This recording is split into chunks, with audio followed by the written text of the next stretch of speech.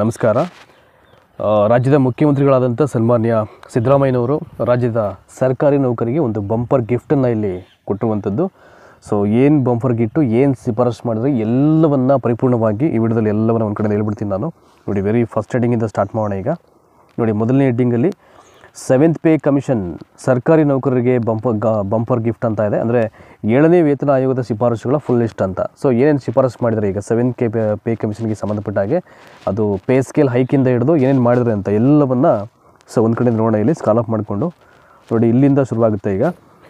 ಬೆಂಗಳೂರು ರಾಜ್ಯ ಸರ್ಕಾರಿ ನೌಕರರ ವೇತನ ಪರಿಷ್ಕರಣೆಗೆ ಸಂಬಂಧಪಟ್ಟಂತೆ ರಚಿಸಲಾಗಿದ್ದ ಏಳನೇ ವೇತನ ಆಯೋಗ ಶನಿವಾರ ತನ್ನ ವರದಿಯನ್ನು ಮುಖ್ಯಮಂತ್ರಿ ಸಿದ್ದರಾಮಯ್ಯ ಅವರಿಗೆ ಸಲ್ಲಿಸಿದೆ ಅಂತ. ಈ ವರದಿಯಲ್ಲಿ ರಾಜ್ಯ ಸರ್ಕಾರಿ ನೌಕರರ ವೇತನವನ್ನು ಶೇಕಡ ಇಪ್ಪತ್ತೇಳರಷ್ಟು ಹೆಚ್ಚಿಸಲು ಶಿಫಾರಸು ಮಾಡಲಾಗಿದೆ. ಇಟ್ ಈಸ್ ವೆರಿ ಇಂಪಾರ್ಟೆಂಟ್ ನೋಡಿ ಸೊ ಎಷ್ಟು ವೇತನವನ್ನು ಇನ್ಕ್ರೀಸ್ ಮಾಡಲಿಕ್ಕೆ ಈಗ ನೋಡಿ ಇಪ್ಪತ್ತೇಳರಷ್ಟು, ರಾಜ್ಯ ಸರ್ಕಾರಿ ನೌಕರರ ವೇತನವನ್ನು ಇಪ್ಪತ್ತೇಳರಷ್ಟು ಹೆಚ್ಚು ಮಾಡಲಿಕ್ಕೆ ಈಗ ಶಿಫಾರಸನ್ನು ಮಾಡಲಾಗಿದೆ ಅಂತ. ರೆಕಮೆಂಡೇಷನ್ ಫಾರ್ ಸ್ಯಾಲ್ರಿ ಹೈಕ್ ಅಂತ ಅದು. ಸೊ ಬೇಸಿಕ್ ಸ್ಯಾಲ್ರಿ ಇಪ್ಪತ್ತೇಳು ಸಾವಿರಗಳಿಗೆ ಹೆಚ್ಚಿಸುವಂತೆಯೂ ಶಿಫಾರಸು ಮಾಡಲಾಗಿದೆ ಅಂತ. ಅವ್ರು ಏನು ಮೂಲ ವೇತನ ಇದೆ, ಅದನ್ನು ಟ್ವೆಂಟಿ ತ ಸೆವೆನ್ ತೌಸಂಡ್ ತನಕ ಇನ್ಕ್ರೀಸ್ ಮಾಡಲಿಕ್ಕೆ ಶಿಫಾರಸು ಮಾಡಲಾಗಿದೆ ಅಂತ ಹೇಳ್ತಾ ಇದ್ದಾರೆ ಸೊ ಇಷ್ಟು ಮಾತ್ರವಲ್ಲ ಆಯೋಗವು ಇನ್ನೂ ಹಲವಾರು ಶಿಫಾರಸುಗಳನ್ನು ಮಾಡಿದೆ ಅಂತ ಹೇಳ್ತಾ ಇದ್ದಾರೆ ಸೊ ಎಲ್ಲವನ್ನು ಒಂದು ಕಡೆಯಿಂದ ಈಗ. ಸೊ ನಿವೃತ್ತ ಮುಖ್ಯ ಕಾರ್ಯದರ್ಶಿ ಸುಧಾಕರ್ ರಾವ್ ಅಧ್ಯಕ್ಷತೆಯಲ್ಲಿ ನೋಡಿ ಯಾರ ಅಧ್ಯಕ್ಷತೆಯಲ್ಲಿ? ಆ, ಸುಧಾಕರ್ ರಾವ್ ಅಧ್ಯಕ್ಷತೆಯ ರಾಜ್ಯದ ಏಳನೇ ವೇತನ ಆಯೋಗವು ಶನಿವಾರ ಮುಖ್ಯಮಂತ್ರಿ ಸಿದ್ದರಾಮಯ್ಯ ಅವರನ್ನು ಭೇಟಿಯಾಗಿ ವರದಿಯನ್ನು ಸಲ್ಲಿಸುತ್ತೆ. ಅದಾದ ನಂತರದಲ್ಲಿ ವರದಿಯನ್ನು ಸ್ವೀಕಾರ ಮಾಡಿದಂಥ ಸಿದ್ದರಾಮಯ್ಯನವರು ವರದಿಯಲ್ಲಿರ್ತಕ್ಕಂಥ ಅಂಶಗಳನ್ನು ಆರ್ಥಿಕ ಇಲಾಖೆ ಪರಿಶೀಲನೆಗೆ ಒಪ್ಪಿಸಲಾಗುವುದು. That is financial department approval ಮಾಡಬೇಕು. ಸೊ ಬಳಿಕ ವೇತನ ಹೆಚ್ಚಳದ ಸಂಬಂಧಿತ ಶಿಫಾರಸನ್ನು ಪರಿಶೀಲಿಸಲಾಗುವುದು ಅಂತ ಹೇಳಿದ್ದಾರೆ. ಈಗ ಅವರೇನು ಎಷ್ಟು ಹೈಕಿನ ಮಾಡಬೇಕು ಅಂತ ಹೇಳಿದರೆ, ಮೂಲ ವೇತನ ಇಪ್ಪತ್ತೆರಡು ಸಾವಿರನ ಅವೆಲ್ಲವನ್ನು ಈಗ ರಿಸೀವ್ ಮಾಡಿದರೆ ಸಿದ್ದರಾಮಯ್ಯನವರು, ಈಗ ಫೈನಾನ್ಷಿಯಲ್ ಡಿಪಾರ್ಟ್ಮೆಂಟ್ ಅಪ್ರೂವಲ್ ಕೊಡ್ತು ಅಂದರೆ ಅದೆಲ್ಲವೂ ಬಂದೇ ಬರುತ್ತೆ ಅದು. ನೆಕ್ಸ್ಟ್ ನೋಡಿ, ಇಲ್ಲಿ ಹೇಳೋಣ ಈಗ. ಏಳನೇ ವೇತನ ಆಯೋಗದ ನಲವತ್ತು ಪ್ರಮುಖ ಶಿಫಾರಸುಗಳು ಅಂತ ಇದೆ ಇಲ್ಲಿ. ನೋಡಿ ಇಟ್ ಈಸ್ ವೆರಿ ಇಂಪಾರ್ಟೆಂಟು ಏಳನೇ ವೇತನ ಆಯೋಗದ ನಲವತ್ತು ಪ್ರಮುಖ ಶಿಫಾರಸುಗಳು. ನೋಡಿ, ಇಲ್ಲಿ ಹೇಳಿದ್ದಾರೆ ಇಲ್ಲಿ ಯಾವ್ಯಾವುದು ಅಂತ. ಏಳನೇ ರಾಜ್ಯ ವೇತನ ಆಯೋಗದ ಶಿಫಾರಸುಗಳ ಸಾರಾಂಶ ಇಲ್ಲಿದೆ ಅಂತ ಇದೆ ಈಗ. ಸೊ ಮೊದಲನೇ ಪಾಯಿಂಟ್ ಬಂದು ನೋಡಿ, ಇಲ್ಲಿ ಮೊದಲನೇ ಪಾಯಿಂಟ್ ಇದು. ಏಳನೇ ವೇತನ ಆಯೋಗವು ಶೇಕಡ ಮೂವತ್ತೊಂದರಷ್ಟು ತುಟಿ ಬತ್ತಿಯನ್ನು ವಿಲೀನಗೊಳಿಸ್ತಕ್ಕಂಥ ಮೂಲಕ ಮತ್ತು ಶೇಕಡ ಇಪ್ಪತ್ತೇಳು ಪಾಯಿಂಟ್ ಐವತ್ತರಷ್ಟು ಫಿಟ್ಮೆಂಟ್ ಪ್ರಯೋಜನವನ್ನು ಒದಗಿಸುವ ಮೂಲಕ ರಾಜ್ಯ ಸರ್ಕಾರಿ ನೌಕರರ ಕನಿಷ್ಠ ಮೂಲ ವೇತನವನ್ನು ತಿಂಗಳಿಗೆ ಅಸ್ತಿತ್ವದಲ್ಲಿರ್ತಕ್ಕಂಥ ಸುಮಾರು ಹದಿನೇಳು ಸಾವಿರದಿಂದ ಇಪ್ಪತ್ತೇಳು ಸಾವಿರಕ್ಕೆ ಪರಿಷ್ಕಾರ ಮಾಡಲಿಕ್ಕೆ ಶಿಫಾರಸನ್ನು ಮಾಡುತ್ತೆ ಅಂತ. ಸೊ ಯಾವ ಒಂದು ಅಧ್ಯಾಯದಲ್ಲಿ ಸಿಗುತ್ತೆ ನಿಮಗೆ? ಅಧ್ಯಾಯ ಐದರಲ್ಲಿ ಇದು ಸಿಗುತ್ತೆ. ಸೆವೆನ್ ಪೇ ಕಮಿಷನ್ನು ಮೂವತ್ತೊಂದರಷ್ಟು ತುಟಿ ಬಡ್ತಿಯನ್ನು ವಿಲೀನಗೊಳಿಸ್ತಕ್ಕಂಥ ಮೂಲಕ ಜೊತೆಗೆ ಶೇಕಡ ಇಪ್ಪತ್ತೇಳು ಪಾಯಿಂಟ್ ಐವತ್ತರಷ್ಟು ಫಿಟ್ಮೆಂಟ್ ಪ್ರಯೋಜನವನ್ನು ಒದಗಿಸ್ತಕ್ಕಂಥ ಮೂಲಕ ರಾಜ್ಯ ಸರ್ಕಾರಿ ನೌಕರಿಗೆ ಈ ಮೊದಲು ಕನಿಷ್ಠ ಮೂಲ ವೇತನವನ್ನು ತಿಂಗಳಿಗೆ ಎಷ್ಟೋ? ಹದಿನೇಳು ಸಾವಿರದಿಂದ ಇಪ್ಪತ್ತೇಳು ಸಾವಿರಕ್ಕೆ ಅದನ್ನು ಪರಿಷ್ಕರಣೆ ಮಾಡಲಿಕ್ಕೆ ಶಿಫಾರಸನ್ನು ಮಾಡುತ್ತೆ. ಮೊದಲನೇ ಪಾಯಿಂಟ್ ಇದು. ಸೊ ನೆಕ್ಸ್ಟ್ ನೋಡಿ, ಇಲ್ಲೊಂದಿದೆ ಇಲ್ಲಿ. ಇವೆಲ್ಲವೂ ಕೂಡ ವೆರಿ ಇಂಪಾರ್ಟೆಂಟ್ ಪಾಯಿಂಟ್ಸ್ ಇವು. ವೇತನ ರಚನೆಯಲ್ಲಿ ಕನಿಷ್ಠ ಮತ್ತು ಗರಿಷ್ಠ ವೇತನದ ನಡುವೆ ಅಸ್ತಿತ್ವದಲ್ಲಿರತಕ್ಕಂಥ one is to eight point eight ಸಿಕ್ಸ್ರ ಅನುಪಾತವನ್ನು ಹೆಚ್ಚು ಕಡಿಮೆ ಹಾಗೆ ಉಳಿಸಿಕೊಳ್ಳುವುದು ಮತ್ತು ಗರಿಷ್ಠ ವೇತನವನ್ನು ಎರಡು ಲಕ್ಷದ ನಲವತ್ತೊಂದು ಸಾವಿರದ ಇನ್ನೂರಕ್ಕೆ ನಿಗದಿಪಡಿಸಲು ಆಯೋಗವು ಶಿಫಾರಸು ಮಾಡುತ್ತೆ. ಇದು ಕೂಡ ಐದನೇ ಅಧ್ಯಾಯದಲ್ಲಿ ನಿಮಗೆ ಸಿಗುತ್ತೆ ಅದು. ಇನ್ನು ನೆಕ್ಸ್ಟು ಇಲ್ಲಿ ಮೂರನೇ ಪಾಯಿಂಟಲ್ಲಿ ಹೊಸ ವೇತನ ಶ್ರೇಣಿಗಳನ್ನು ದಿನಾಂಕ ಒಂದು, ಏಳು, ಎರಡು ಸಾವಿರದ ಇಪ್ಪತ್ತೇಳರಿಂದ ಕಾಲ್ಪನಿಕವಾಗಿ ಅನ್ವಯಿಸುತ್ತದೆ. ಸೊ, ಒಂದು, ಏಳು, ಎರಡು ಸಾವಿರದ ಇಪ್ಪತ್ತೇಳರಿಂದಲೇ ಅದನ್ನು ಕಾಲ್ಪ್ ಕಾಲ್ಪನಿಕವಾಗಿ ಅನ್ವಯಿಸ್ತದೆ ಅಂತ ಹೇಳಿದರು. ಅನುಷ್ಠಾನಗೊಳಿಸುವ ನೈಜ ದಿನಾಂಕವನ್ನು ರಾಜ್ಯ ಸರ್ಕಾರವು ನಿರ್ಧರಿಸುವುದೆಂದು ಆಯೋಗವು ಶಿಫಾರಸು ಮಾಡುತ್ತೆ ಅಂತ ಹೇಳಿದ್ದಾರೆ. ನೆಕ್ಸ್ಟು, ಸೊ, ನಾಲ್ಕನೇ ಪ್ರಶ್ನೆ ಈಗ. ನೌಕರರ ಕುಟುಂಬದ ಕನಿಷ್ಠ ಬಳಕೆ ವೆಚ್ಚದ ಲೆಕ್ಕಾಚಾರಕ್ಕಾಗಿ ಬಳಸಲಾಗ್ತಕ್ಕಂಥ ಆಕ್ರೋಂಡಿಯ ಸೂತ್ರವನ್ನು ಚಾಲ್ತಿಯಲ್ಲಿರ್ತಕ್ಕಂಥ ಒಂದು ಮತ್ತು ಜೀರೋ ಪಾಯಿಂಟ್ ಏಯ್ಟರ ಪ್ರಮಾಣದ ಬದಲಿಗೆ ಪ್ರಾತಿನಿಧಿಕ ಕುಟುಂಬದ ವಯಸ್ಕ ಪುರುಷ ಮತ್ತು ಮಹಿಳಾ ಸದಸ್ಯರಿಗೆ ಒಂದು ಸಮಾನ ಪ್ರಮಾಣವನ್ನು ನೀಡುವ ಮೂಲಕ ಎರಡೂ ಲಿಂಗಗಳನ್ನು ಸಮಾನವಾಗಿ ಪರಿಗಣಿಸಬೇಕು, ಸ್ವಲ್ಪ ಮಟ್ಟಿಗೆ ಮಾರ್ಪಡಿಸಲಾಗಿದೆ ಅಂತ ಹೇಳಿದ್ದಾರೆ. ಇನ್ನು ನೆಕ್ಸ್ಟು ಅಧ್ಯಾಯ ಐದರಲ್ಲಿ, ಐದನೇ ಪಾಯಿಂಟ್ ಹೇಳಿದರೆ ಇಲ್ಲಿ ಏನಂತ ಅದು ಪರಿಷ್ಕೃತ ಪ್ರತ್ಯೇಕ ಸಾವಿರದ ಏಳ್ನೂರ ಅರವತ್ತೊಂದು ಬಾರ ಸಾವಿರದ ಆರುನೂರ ಎರಡು ಅಂತ, ವೇತನ ಶ್ರೇಣಿಗಳೊಂದಿಗೆ ಪರಿಷ್ಕೃತ ಮತ್ತು ಮುಖ್ಯ ಶ್ರೇಣಿಯನ್ನು ರೂಪಿಸಲಾಗಿದೆ. ಚಾಲ್ತಿಯಲ್ಲಿರತಕ್ಕಂಥ ರು ನಾನ್ನೂರರಿಂದ ಮೂರು ಸಾವಿರದ ನೂರರವರೆಗೆ ಬದಲಿಗೆ ವಾರ್ಷಿಕ ಬಡ್ತಿ ದರಗಳು ಮುಖ್ಯ ಶ್ರೇಣಿಯಾದ್ಯಂತ ರು ಆರುನೂರೈವತ್ತರಿಂದ ಐದು ಸಾವಿರದವರೆಗೆ ಆಗಿರುತ್ತೆ ಅಂತ ಹೇಳಿದ್ದಾರೆ. ನೆಕ್ಸ್ಟು, ಆರನೇ ಪಾಯಿಂಟು, ಪ್ರಸ್ತುತ ಜಾರಿಯಲ್ಲಿರುವಂತೆ ಒಂದು ಕ್ಯಾಲೆಂಡರ್ ವರ್ಷದಲ್ಲಿ ಒಂದನೇ ಜನವರಿ ಅಥವಾ ಒಂದನೇ ಜುಲೈಯಲ್ಲಿ, ನೋಡಿ ಒಂದು ಕ್ಯಾಲೆಂಡರ್ ವರ್ಷದಲ್ಲಿ ಒಂದನೇ ಜನವರಿಯಿಂದ ಹಿಡಿದು ಒಂದನೇ ಜುಲೈನಲ್ಲಿ ವಾರ್ಷಿಕ ಬಡ್ಡಿ ದರಗಳನ್ನು ಮಂಜೂರು ಮಾಡುವುದನ್ನು ಮುಂದುವರಿಸಲು ಆಯೋಗವು ಶಿಫಾರಸನ್ನು ಇಲ್ಲಿ ಮಾಡ್ತಾ ಇದೆ. ನೆಕ್ಸ್ಟು, ಸೊ ಏಳನೇ ಪಾಯಿಂಟ್ ನೋಡೋಣ ಈಗ. ಕೇಂದ್ರದ ತುಟ್ಟಿಯಲ್ಲಿ ಸೂತ್ರ ಮತ್ತು ಮಾದರಿಯನ್ನು ಅಳವಡಿಸಿಕೊಳ್ಳುವುದನ್ನು ಮುಂದುವರಿಸಲಾಗುತ್ತದೆ. ಸೊ ಕೇಂದ್ರದ ತುಟ್ಟಿಯಲ್ಲಿ ಏನಿದೆ ಅದನ್ನು ಅದರ ಒಂದು ಸೂತ್ರ ಮತ್ತು ಮಾದರಿಯನ್ನು ಹಾಗೆ ಕಂಟಿನ್ಯೂ ಮಾಡಲಿಕ್ಕೆ ಅಳವಡಿಸ್ಕೊಂಡಿದ್ದೀವಿ ಅಂತ ಹೇಳಿದ್ದಾರೆ. ದಿನಾಂಕ ಒಂದು ಏಳು ಎರಡು ಸಾವಿರದ ಇಪ್ಪತ್ತೆರಡರಂತೆ ಸೂಚ್ಯಾಂಕ ಮಟ್ಟದಲ್ಲಿ ಸಂಪೂರ್ಣವಾಗಿ ತಟಸ್ಥಗೊಂಡಿರ್ತಕ್ಕಂಥ ತುಟ್ಟಿ ಬತ್ತಿಯೊಂದಿಗೆ ದಿನಾಂಕ ಒಂದು ಏಳು ಎರಡು ಸಾವಿರದ ಇಪ್ಪತ್ತೆರಡರಿಂದ ಭಾರತ ಸರ್ಕಾರವು ಮಂಜೂರು ಮಾಡಿದಂಥ ಪ್ರತಿ ಶೇಕಡ ಒಂದರಷ್ಟು ತುಟ್ಟಿ ಬತ್ತೆಗೆ ರಾಜ್ಯ ಸರ್ಕಾರಿ ನೌಕರರಿಗೆ ಮಂಜೂರು ಮಾಡಬೇಕಾದ ತುಟ್ಟಿ ಭತ್ಯೆಯು ಪರಿಷ್ಕೃತ ಮೂಲ ವೇತನದ ಶೇಕಡ ಜೀರೋ ಪಾಯಿಂಟ್ ಏಳು ಎರಡು ಎರಡರಷ್ಟು ಆಗಿರುತ್ತೆ ಅಂತ ಹೇಳಿದರು. ಎಲ್ಲವೂ ಕೂಡ ಐದನೇ ಒಂದು ಅಧ್ಯಾಯದಲ್ಲಿ ಸಿಗುತ್ತೆ ಇದು, ಒಂದು ಸ್ಪೇಸಲ್ಲಿ ಸೊ ನೆಕ್ಸ್ಟು ನೋಡಿ ಇಲ್ಲಿದೆ ಈಗ. ಇದು ಅನುದಾನಿತ ಶಿಕ್ಷಣ ಸಂಸ್ಥೆಗಳ ಬಗ್ಗೆ ಇಲ್ಲಿ ಒಂದಷ್ಟು ಹೇಳಿದ್ದಾರೆ ಇಲ್ಲಿ. ಅನುದಾನಿತ ಶಿಕ್ಷಣ ಸಂಸ್ಥೆಗಳ ನೌಕರರು, ಸ್ಥಳೀಯ ಸಂಸ್ಥೆಗಳು ಮತ್ತು ವಿಶ್ವವಿದ್ಯಾನಿಲಯಗಳ ಬೋಧಕೇತರ ಸಿಬ್ಬಂದಿಗಳ ವೇತನ ಶ್ರೇಣಿಯನ್ನು ರಾಜ್ಯ ಸರ್ಕಾರಿ ನೌಕರರಿಗೆ ಪರಿಷ್ಕರಿಸಿದ ರೀತಿಯಲ್ಲಿ ಪರಿಷ್ಕರಿಸಬೇಕು ಅಂತ ಇದೆ ಇಲ್ಲಿ, ಶಿಫಾರಸ್ಸಲ್ಲಿ.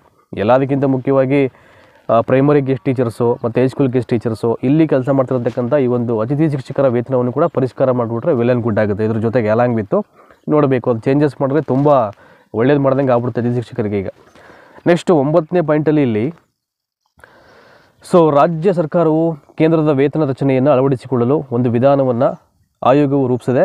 ಆದಾಗ್ಯೂ ಪ್ರಸ್ತುತ ರಾಜ್ಯ ಸರ್ಕಾರವು ಮುಖ್ಯ ಶ್ರೇಣಿ ಮತ್ತು ವಿಭಜಿತ ಪ್ರತ್ಯೇಕ ವೇತನ ಶ್ರೇಣಿಗಳನ್ನು ಒಳಗೊಂಡಿರುವ ಹಸಿದಲ್ಲಿರ್ತಕ್ಕಂಥ ವೇತನದ ಮಾದರಿಯನ್ನು ರಾಜ್ಯ ಸರ್ಕಾರ ಉಳಿಸಿಕೊಳ್ಳುವುದು ಸೂಕ್ತವೆಂದು ಅಭಿಪ್ರಾಯಪಟ್ಟಿದೆ. ಭಾರತ ಸರ್ಕಾರವು ತನ್ನ ನೌಕರರಿಗೆ ಮುಂದಿನ ವೇತನವನ್ನು ಪರಿಷ್ಕರಿಸಿದಾಗ ರಾಜ್ಯ ಸರ್ಕಾರವು ಕೇಂದ್ರೀಯ ವೇತನ ರಚನೆಯ ಆಧಾರದ ಮೇಲೆ ಪರ್ಯಾಯ ರಚನೆಯನ್ನು ಅಳವಡಿಸಿಕೊಳ್ಳಲು ಸೂಕ್ತ ಸಮಯವಾಗಿರುತ್ತೆ ಅಂತ ಹೇಳಿದ್ದಾರೆ. ಸೊ ನೆಕ್ಸ್ಟು ಹತ್ತನೇ ಒಂದು ಸಾರಾಂಶದಲ್ಲಿ ಏನು ಹೇಳಿದರೆ ಅಂದರೆ ಇಲ್ಲಿ ಟೆನ್ನಲ್ಲಿ ಮಾಸಿಕ ಪಿಂಚಣಿ ಪ್ರಮಾಣವು ಅಂತಿಮವಾಗಿ ಪಡೆದ ಮೂಲ ವೇತನದ ನೋಡಿ ಎಷ್ಟು ಅಂತಿಮವಾಗಿ ಪಡೆದಂಥ ಮೂಲ ವೇತನದ ಶೇಕಡ ಐವತ್ತರಷ್ಟರಲ್ಲಿಯೇ ಮುಂದುವರಿತದೆ ಅಂತ. ಇಲ್ಲಿ ಚೇಂಜಸ್ ಇಲ್ಲ.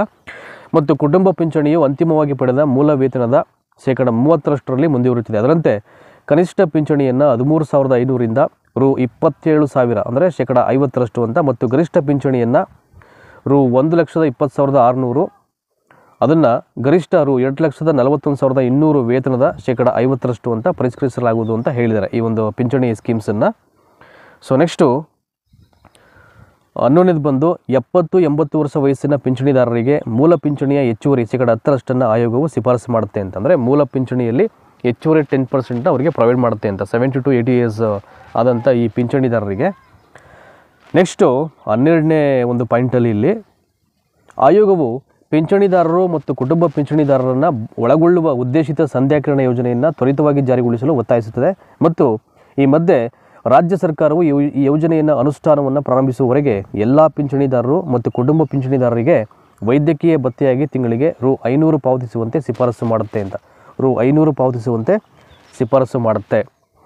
ನೋಡಿ ಎಷ್ಟು ಐನೂರು ರೂಪಾಯಿಗಳನ್ನು ಪಾವತಿ ಮಾಡಲಿಕ್ಕೆ ಅದು ಶಿಫಾರಸನ್ನು ಮಾಡ್ತಾಯಿದೆ ಅಂತ. ಅಂದರೆ ಈ ಸಂಧ್ಯಾಕಿರಣ ಸ್ಕೀಮನ್ನು ತ್ವರಿತವಾಗಿ ಅದನ್ನು ಇಂಪ್ಲಿಮೆಂಟ್ ಮಾಡಲಿಕ್ಕೆ ಈಗ ಒತ್ತಾಯ ಮಾಡ್ತಾ ಇದೆ. ನೆಕ್ಸ್ಟು ಇಲ್ಲಿ ಟ್ವೆಲ್ತ್ ಒಂದು ಪಾಯಿಂಟಲ್ಲಿ ಪಿಂಚಣಿದಾರರು ಆತ ಅಥವಾ ಆಕೆಯು ಮರಣ ಹೊಂದಿದಲ್ಲಿ ಅವರ ಅಂತ್ಯಕ್ರಿಯೆ ವೆಚ್ಚಗಳನ್ನು ಭರಿಸಲು ರು ಹತ್ತು ಸಾವಿರ ರುಗಳ ಮೊತ್ತವನ್ನು ಪಿಂಚಣಿದಾರರ ನಾಮನಿರ್ದೇಶಕನಿಗೆ ಪಾವತಿಸಲು ಶಿಫಾರಸು ಮಾಡಲಾಗಿದೆ. ಇದು ಭಾಳ ಅದ್ಭುತವಾದಂಥ ಒಂದು ಶಿಫಾರಸು ಇದು.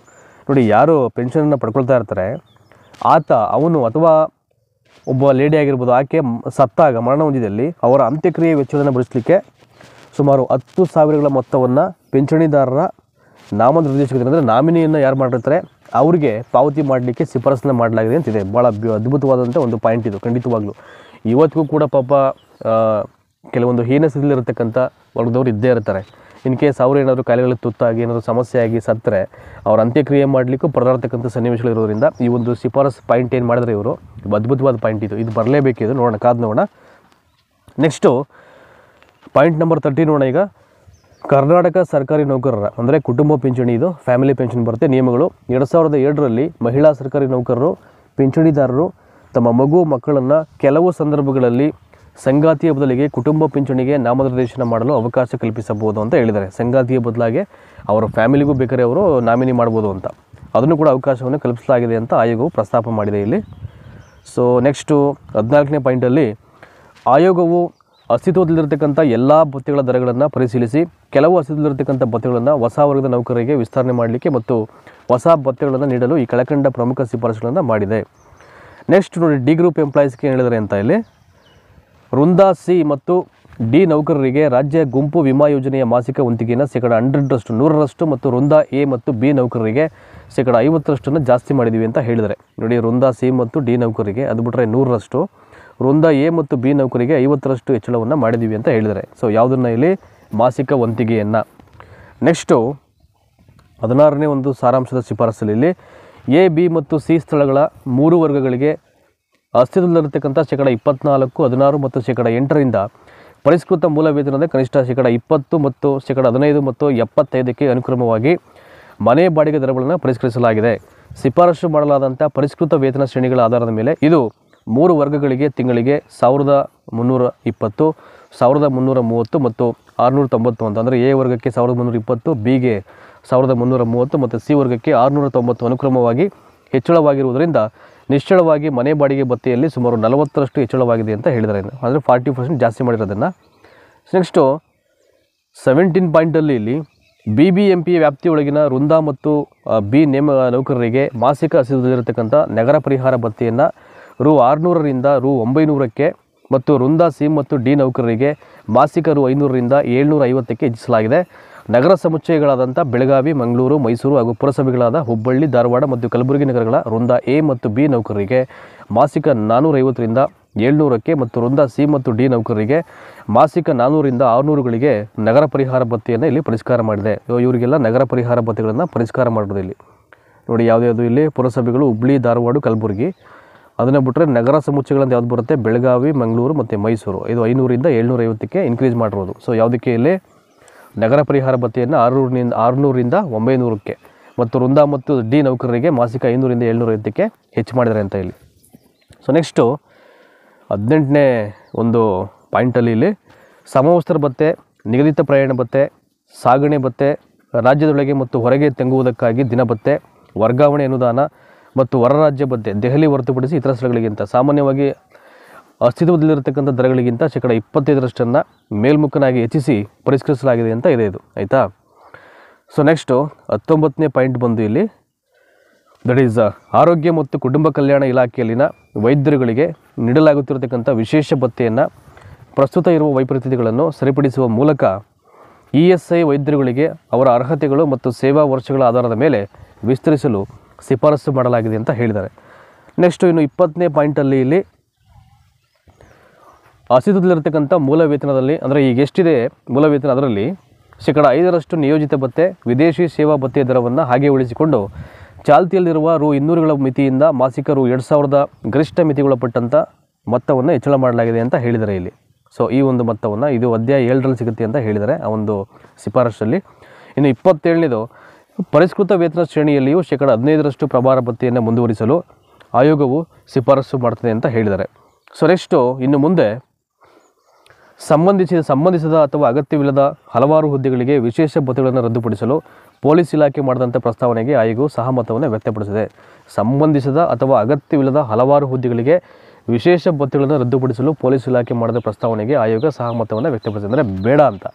ಅವಶ್ಯಕತೆ ಇಲ್ಲದಿರೋ ಹುದ್ದೆಗಳಿಗೆ ಯಾಕೆ ಇಲ್ಲಿ ಭತ್ಯೆಗಳನ್ನು ಮಾಡಬೇಕು ಅಂತಕ್ಕಂಥದ್ದು, ಅವರು ಇಲ್ಲಿ ಪೊಲೀಸ್ ಇಲಾಖೆ ಅಂತಕ್ಕಂಥದ್ದು ಪ್ರಸ್ತಾವನೆಯನ್ನು ಡಿಪಾರ್ಟ್ಮೆಂಟ್ಗೆ ಇದು ಸಲ್ಲಿಸಿರುವಂಥದ್ದು. ಸೊ ಇನ್ನು ಇನ್ನು, ಇನ್ನೂ ಉಳಿದಂತೆ ಹಲವಾರು ಪಾಯಿಂಟ್ ಇದೆ. ಸೊ ಎಲ್ಲವನ್ನು ಹೇಳಲಿಕ್ಕೆ ಹೋದರೆ ಇಲ್ಲಿ ಸೊ ವಿಡಿಯೋ ಲೆಂತಿ ಆಗುತ್ತೆ. ಸೊ ನಾನು ಇದೇ ವಿಡಿಯೋ ಲಿಂಕನ್ನ ನಿಮಗೆ ಈಗ ಟೆಲಿಗ್ರಾಮಲ್ಲಿ ಶೇರ್ ಮಾಡಿಬಿಡ್ತೀನಿ. ಸೊ ದಯಮಾಡಿ ಇಲ್ಲಿ ಉಳಿದಂಥ ಎಲ್ಲ ಪಾಯಿಂಟ್ನು ಓದ್ಕೊಳ್ಳಿ. ಇಲ್ಲಿ ಎಲ್ಲವನ್ನು ನೀಟಾಗಿ ಟೈಪ್ ಮಾಡಿ ಇಲ್ಲಿ ಕೊಟ್ಟಿದ್ದಾರೆ ಇಲ್ಲಿ. ಸೊ ನಾನು ಈ ಒಂದು ವಿಡಿಯೋ ಲಿಂಕನ್ನು ನಮಗೆ ಟೆಲಿಗ್ರಾಮಲ್ಲಿ ಹಾಕ್ತೀನಿ ನಾನು. ಸೊ ದಯಮಾಡಿ ಎಲ್ಲ ಅಲ್ಲಿ ನೀಟಾಗಿ ಒಂದು ಕಡೆಯಿಂದ ನೋಡ್ಕೊಳ್ಳಿ. ಸೊ ಫೈನಲಿ ಎಲ್ಲ ಜನರಿಗೂ ಪೇ ಕಮಿಷನಲ್ಲಿ ಅವರ ಏನು ಒಂದು ಮೂಲ ವೇತನ ಇತ್ತು, ಅದು ಇನ್ಕ್ರೀಸ್ ಆಗಬೇಕು ಅಂತಕ್ಕಂಥದ್ದು ಭಾಳ ಒತ್ತಾಯ ಇತ್ತು. ಸೊ ಅದನ್ನು ಈಗ ಇಪ್ಪತ್ತೇಳು ಸಾವಿರ ತನಕ ಜಾಸ್ತಿ ಮಾಡಲಿಕ್ಕೆ ಈಗಾಗಲೇ ಇದು ಶಿಫಾರಸನ್ನು ಅವ್ರಿಗೆ ಇಲ್ಲಿ ಮಾಡಿರುವಂಥದ್ದು ಅಂತ.